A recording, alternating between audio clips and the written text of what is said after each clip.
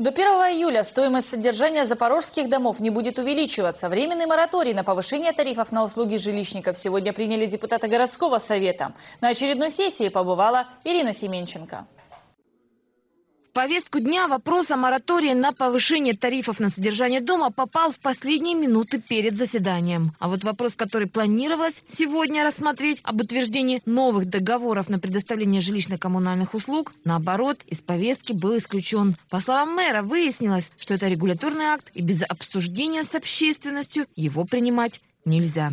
Тобто ми повинні не просто обговорити це на комісіях із комунальними підприємствами та управліннями житлового і комунального господарства. Ми повинні ці проекти договорів е, винести на загальне обговорення мешканців міста, а також, також підприємств організацій, які споживають ці послуги.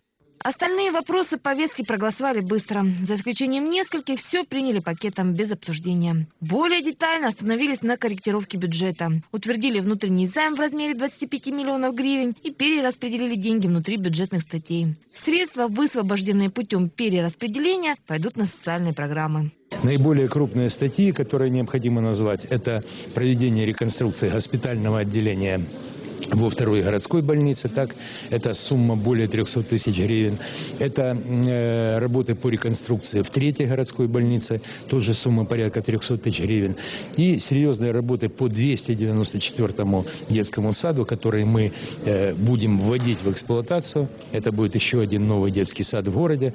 Популярный шаг – запрет на повышение тарифов на содержание домов – депутаты сделали последним. При этом даже успели поссориться, кому принадлежит авторство идеи и кто о народе больше печется. Коммунисты обиделись на регионалов, мол, те поступают нескромно, упоминая название партии в проекте решения. В данном случае решение должно быть представлено как депутатов городского совета. Регионалы отстояли право запрещать повышение тарифов голосованием. От этого суть решения не изменилась. Тарифы на содержание дома заморожены на три месяца до 1 июля. За это время в мэрии намерены разработать новую модель работы с тарифами. Два-три месяца мы будем а, создавать новую модель, при которой люди, первое, будут получать качественные услуги, своевременные услуги.